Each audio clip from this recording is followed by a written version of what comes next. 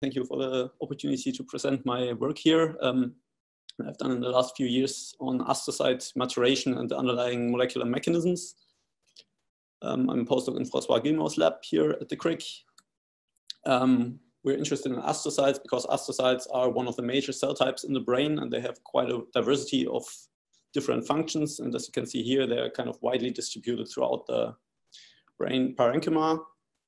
And yeah, these, these different functions uh, are, for example, uh, support uh, for neurons with trophic and metabolic fact, uh, factors. Also, they regulate the blood-brain barrier and their cerebral blood flow.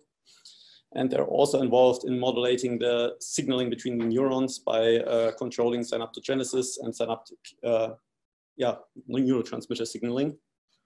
But it's not very clear so far how these different functions are established during normal brain development. And this is interesting because they are also often uh, defective uh, in diseases.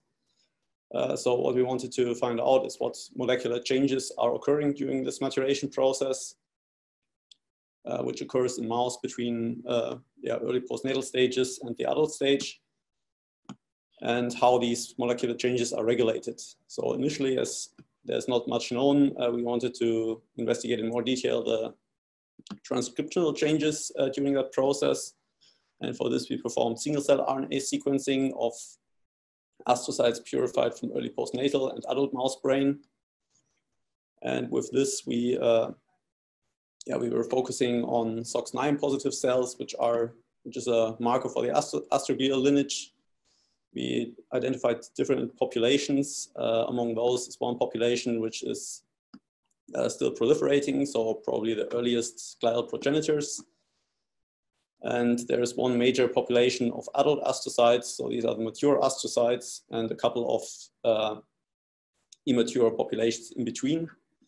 And with this, we could reconstruct a hypothetic uh, maturation trajectory from these uh, progenitors uh, over three uh, post-mitotic stages to the adult astrocytes in the, in the adult brain.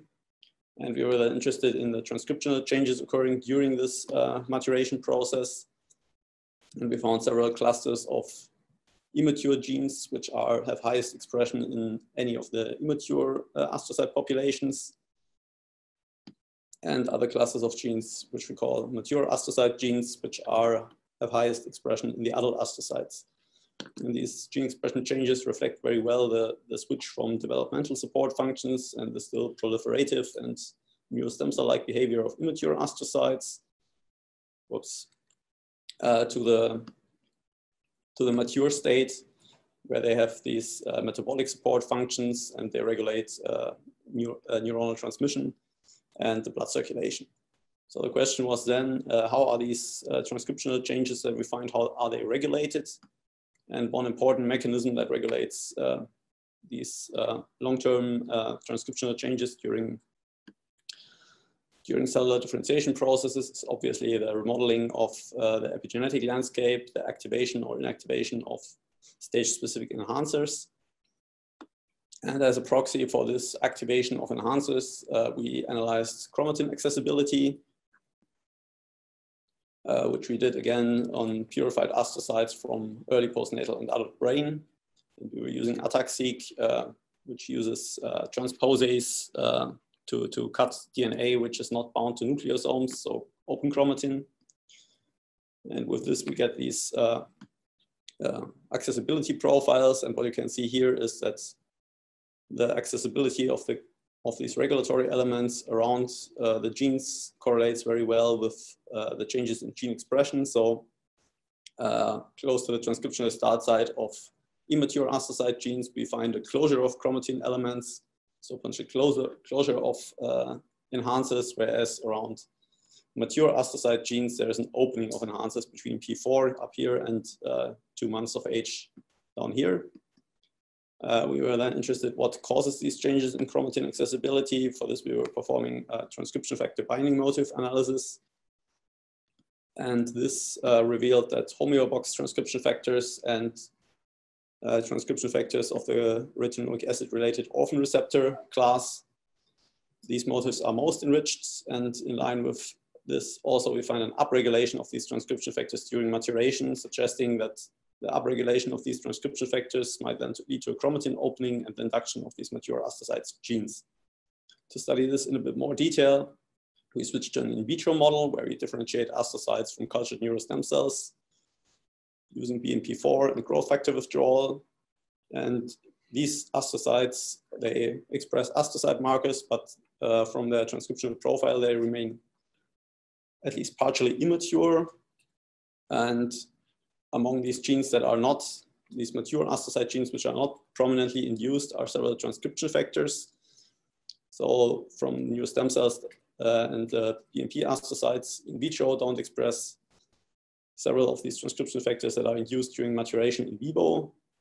So this indicates that this, the lack of these transcription factors might contribute to the lack of maturation in vitro. So we were wondering whether by inducing these transcription factors in vitro, we can promote astrocyte maturation. For this, we were focusing on four uh, candidates, which we expressed in a lentiviral transcription, uh, in a lentiviral overexpression system. And indeed, we could found, find that each of these transcription factors induces different subsets of the mature astrocyte genes in a largely non-overlapping way. So it seems that multiple of these mature astrocyte transcription factors in a modular way induce uh, the mature astrocyte genes. So the question is now, what regulates in normal conditions uh, this, uh, the upregulation of these transcription factors that are lacking in vitro? And obviously in vitro, a lot of signals are missing uh, that might promote the maturation in vivo. So we were using uh, different culture conditions to see whether, whether we find signals that promote maturation. And for this, we were using uh, either the addition of FGF or the culture in 3D conditions, which have been shown to promote some level of more of, of maturation, of functional maturation of astrocytes in culture. And indeed, what we find uh, in these conditions, especially if we combine both FGF and 3D conditions, that there's an upregulation of several of these mature astrocyte transcription factors. And in line with this, also the overall transcriptional profile of these cells is becoming much more mature. And so overall, this, uh, this suggests pretty strongly that uh, astrocyte maturation is mainly driven by extrinsic signals, which are then in, inducing intrinsic uh, mediators, uh, transcription factors, which are then regulate, uh, are involved in the chromatin uh, remodeling. And through this and direct induction, the expression of these mature astrocyte genes, which are required to establish the mature astrocyte functions. Um, if you're interested in more details, we have published this as a preprint um, so far and hopefully soon in a peer-reviewed journal. And with this, I'm at the end. I want to thank the whole Guillemot lab for the support. Also the advanced sequencing facility at the Crick was uh, very much involved in this project and also other collaborators and the funding. Um, and I'm happy to take questions and thank you for your attention. Thank you so much, Michael. That was lovely. Uh, so I think we already have one question here. I know it's still for Tristan. So I have a question. So I know that these astrocyte models can be used to study epilepsy and they really suffer from the fact that the astrocytes are too mature. Do you think it would be sufficient to like extrinsically upregulate these factors just by changing the culture conditions? Or do you think that part of the issue is that the astrocyte populations are just completely homogeneous and that you maybe have to have something different cell types in the culture that would be giving those signals to be able to get good models? Um, I mean, I guess both might. Or both, yeah.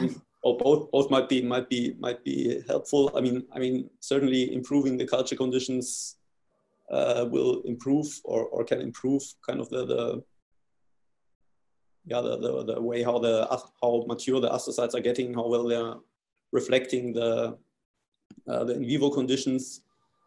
Um, but definitely even in these 3D FGF conditions, they're still not uh, kind of fully reflecting the mature in vivo phenotype. And also, of course, for, for epilepsy, there are also other cell types involved. So I, I think, I mean. Yeah, uh, that yeah. makes sense.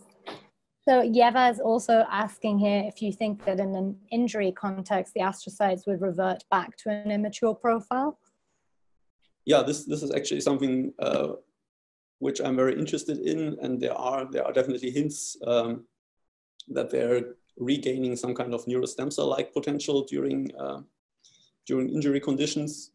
And I also have looked with this set of immature and mature uh, astrocyte genes that we have identified uh, in data sets of uh, CNS injury. And it seems that yeah, many mature astrocyte genes are downregulated and many immature astrocyte genes are upregulated.